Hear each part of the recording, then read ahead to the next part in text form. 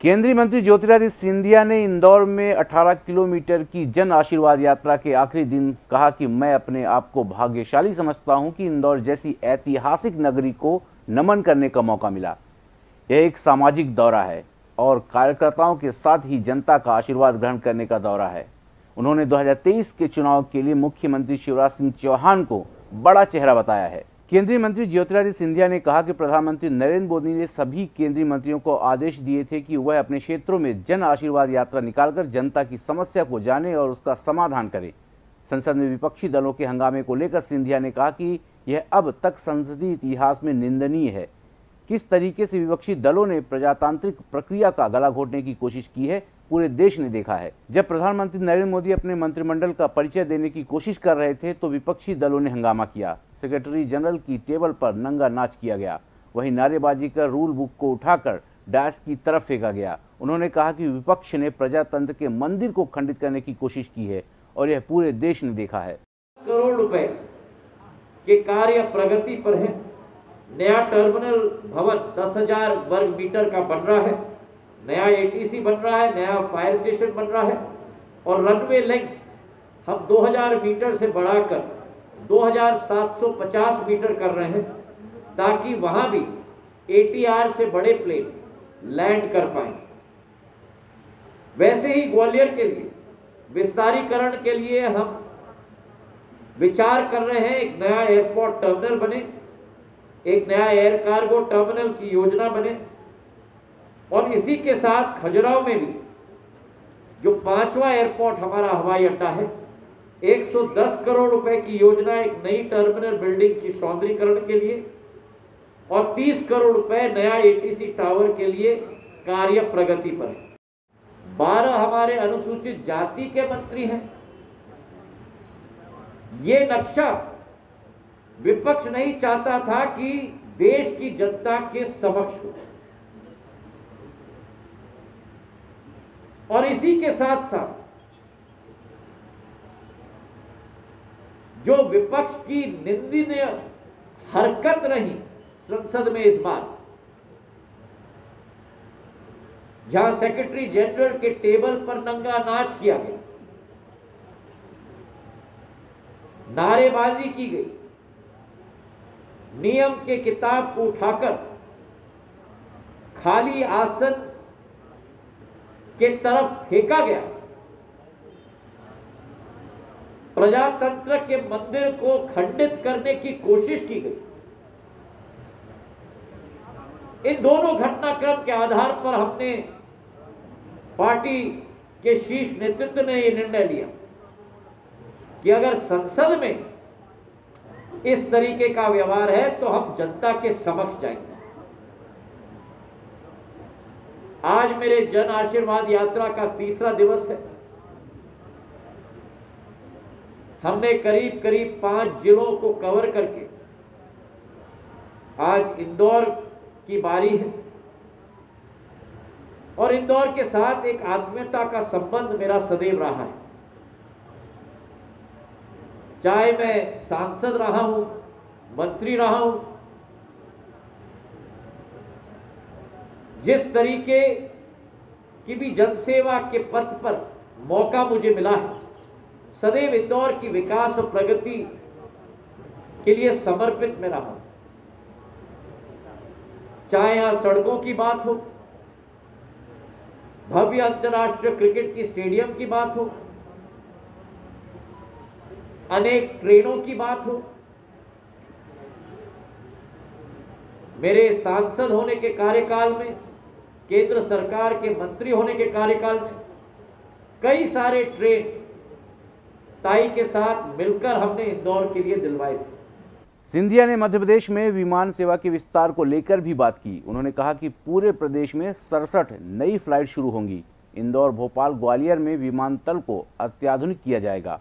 महँगाई के मुद्दे पर ज्योतिरादित्य सिंधिया ने कहा कि यह केवल भारत का मुद्दा नहीं है, यह विश्वव्यापी मुद्दा है। पूरा विश्व आर्थिक संकट से गुजर रहा है और इसी के आधार पर महँगाई पूरे विश्व में देखने को मिल रही है। हमें महँगाई और आर्थिक प्रगति के बीच में संयम बनाना होगा। पेट्रोल, डीजल के मामले में उन्होंने कहा कि अंतर्राष्ट्रीय बाज़ार में पेट्रोल, डीजल की कीमतें 300 प्रतिशत बढ़ गई हैं। जो महँगाई का मुद्दा है, कोरोना के वातावरण में ये भारत व्यापक मुद्दा नहीं ये विश्व व्यापक मुद्दा है। कोरोना के वातावरण में डिमांड घटी है विश्व भर में, आय घटी है विश्व भर में, और विश्व भर में आर्थिक क्षेत्र में श्रिंकेज हुआ है। उसी के आधार पर महँगाई अपना सिर उठा रहा है पूरे विश्व में, और उसी का प्रभाव भारत में भी हमें देखने को मिला है। अब अर्थशास्त्र का विद्यार्थी होने के नाते सदैव एक टेंशन रहती है और एक बैलेंस संयोग और एक संयम बनाना पड़ता है। महँगाई के बीच में और आर्थिक प्रगति के बीच में। एक के बिना दूसरा नहीं हो पाता।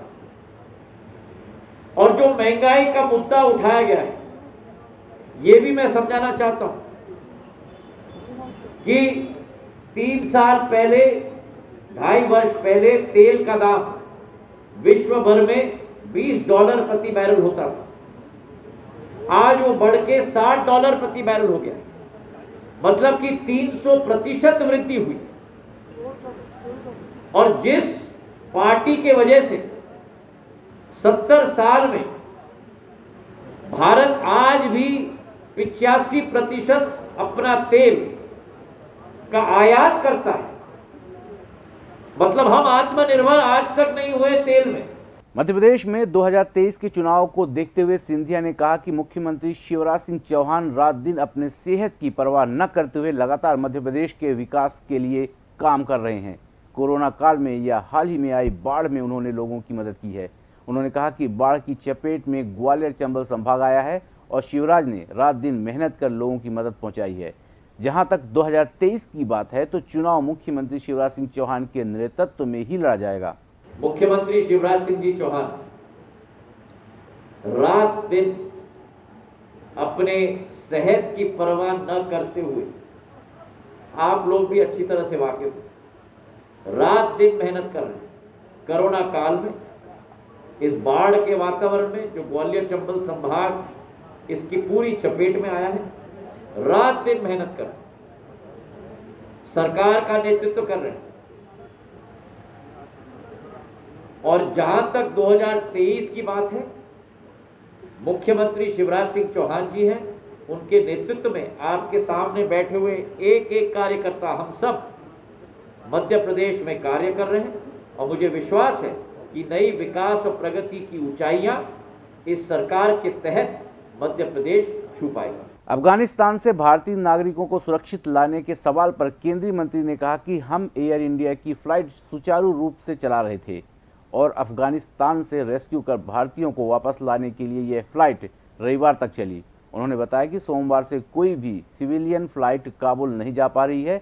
ऐसे में सरकार ने यह निर्णय लिया है कि अगर सिविलियन फ़्लाइट नहीं जा रही है तो भारतीय वायुसेना के प्लेन अफ़गानिस्तान जाएँ और हमारे नागरिकों को वापस सुरक्षित लाएँ।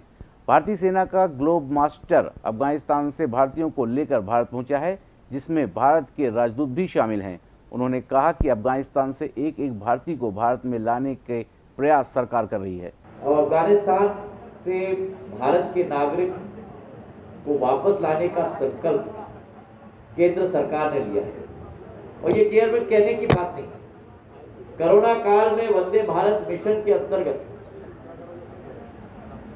विश्व का सबसे बड़ा इवैक्यूएशन मूवमेंट प्रधानमंत्री नरेंद्र मोदी जी की सरकार के नेतृत्व भारत ने आयोजित किया वंदे भारत मिशन के तहत इकहत्तर लाख लोगों को हमने वापस भारत लाया।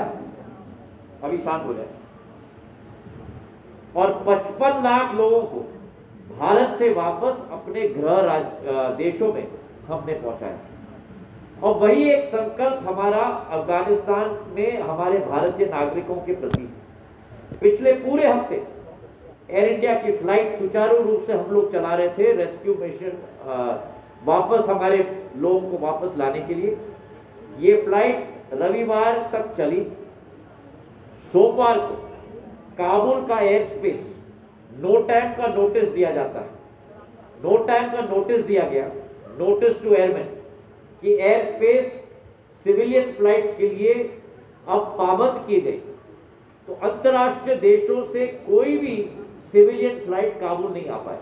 ये निर्णय विदेश मंत्रालय के द्वारा ली जाएगी।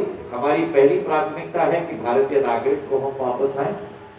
और जैसे मैंने आपको बताया कि ये प्रयास निरंतर है, जब तक आखिरी भारतीय नागरिक को हम वापस न लाए। और जिनकी वैलिड इंडियन वीज़ा हो उनको भी हम लोग लाने में सक्षम हो सकते से आपका ब्राइट फ्यूचर बुला रहा है from L N C T university providing practical exposure for engineering management pharmacy medical agriculture science paramedical law and many more visit L N C T U dot A C dot in संगीत की स्वर लहरियों से सांस्कृतिक ताने बाने तक चंबल के पीड़ों से नक्सलवादियों के गढ़ तक। झोपड़ी से महलों तक ठेलों से मेलों तक पगडंडियों से सड़कों तक गाँव से शहरों तक व्यापार से उद्योगों तक। राजनीति से कूटनीति तक। दखन न्यूज़। आपके हक